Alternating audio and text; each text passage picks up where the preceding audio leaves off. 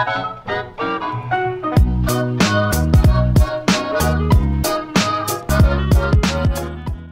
YouTube, my name is Nero, TV more Call of Duty World War II. Welcome back, ladies and gentlemen. It has finally happened. I have reached Master Prestige here within Call of Duty World War II. In today's video, we are going to be checking out Master Prestige, taking a look at all these special unlocks and benefits you get, while also taking a look at my overall Call of Duty World War II experience, including time played, kill-death ratio, win-loss ratio, challenge progress, and everything else. First things first, what happens when you hit Master Prestige? Well, it's actually quite anticlimactic if you ask me.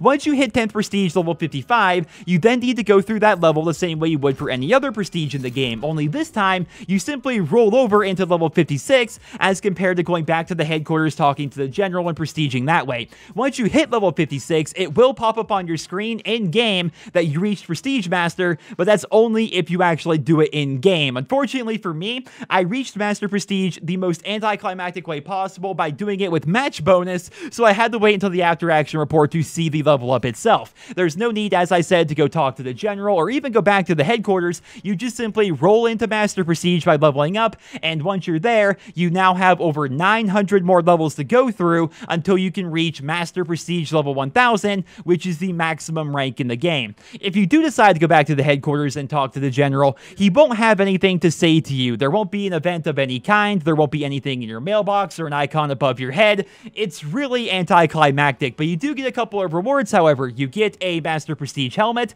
and you also get a Master Prestige calling card, which combines all of these soldiers from the 10 previous Prestige calling cards into one, which looks fantastic. And you also have everything in the game that can be unlocked with a token permanently unlocked and available to you. So every single gun, every basic training, and every score streak is now unlocked and available to use, but of course, you still have to earn camos and attachments on your own. Aside from that, there really isn't a whole lot else to Master Prestige here in this game. Your new rank is the color yellow, but you can't change your Master Prestige icon like you could back in Black Ops 3, and to my understanding, you don't actually earn anything special by leveling up through the Master Prestige ranks themselves. The Doom Clan was the first group of people to actually hit Master Prestige level 1000, and even for getting the maximum rank in the game, you don't unlock anything whatsoever, so if I were Sledgehammer Games, I would find ways to reward Master Prestige players more than they currently do. I would start by allowing people who are Master Prestige to actually change their icon icon to be whatever prestige icon they wanted to be. Back in Black Ops 3, once you got the Master Prestige, you could change your icon to be whatever prestige icon you wanted from the game because people knew you were Master Prestige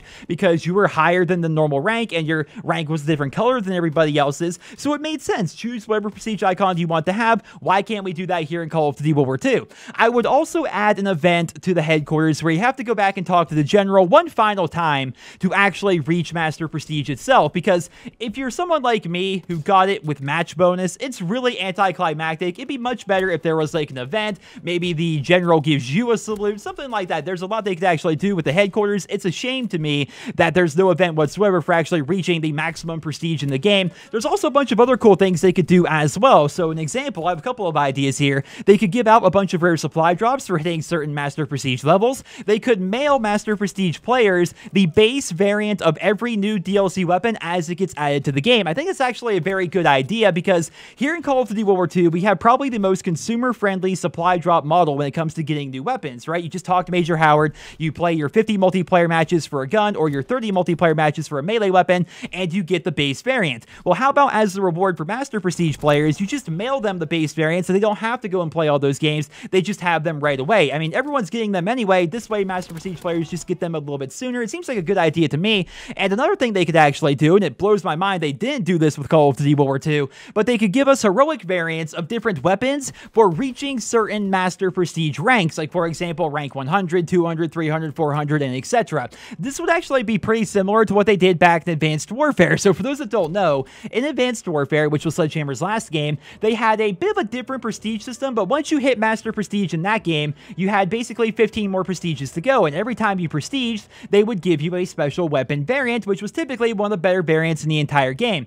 How about here here in Call of Duty World War II, they do something similar, but instead of giving us a set variant, how about giving us a heroic token, which we can use to unlock any heroic item in the game, whether that's a weapon variant or an outfit or a calling card or what have you. Every 100 levels of Master Prestige give us a new token, which allows us to unlock a heroic item in this game. It's not as if, you know, there's a very small number of heroic items. There are tons of them out there, so it's not as if we're going to unlock everything right away. It would just be a nice reward for people who actually make it to the maximum rank here within Call of Duty World War II.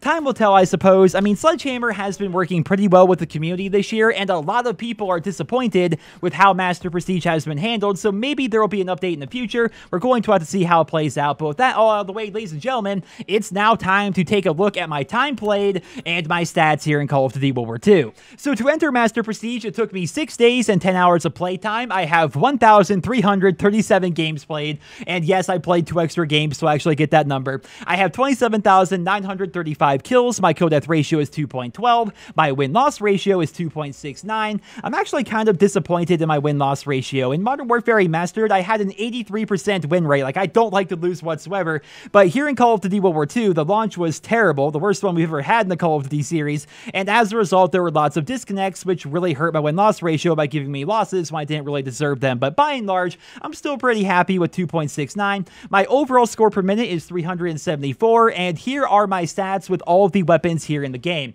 As most of you know, I am working towards the Chrome Camo, but I don't like to play War or Hardcore to get challenges done super quickly. I just play the modes I like to play, like Team Deathmatch, Domination, Kill Confirmed, and Hardpoint. I try to win, I try to do well, and headshots just kind of come as a byproduct of me playing, which is why I have so many kills with so many different weapons here in this game. When it comes to getting the Chrome Camo, I only have a few weapons actually left. I have the Bren Light Machine Gun, the Carbon Sniper, all three pistols, though I'm pretty much halfway done with the M1911, and I still have the shovel to do, and of course a few remaining challenges on the MG15, but by and large, I'm actually pretty close to Chrome Camo, which is going to be pretty awesome. If you want my advice for leveling quickly here in this game, I did do an entire video talking about that. I'll put a link to it down there in the description if you guys want me to go into more detail. Check out that video, but in short, if you play Search and Destroy and you do very well the majority of the time, it's a great place to level up. I would say Kill Confirmed is the best place to level up for overall consistency, and Hardpoint is also pretty good. Well, ladies and gentlemen, that is all for today's video. I hope you guys all enjoyed it. Let me know your thoughts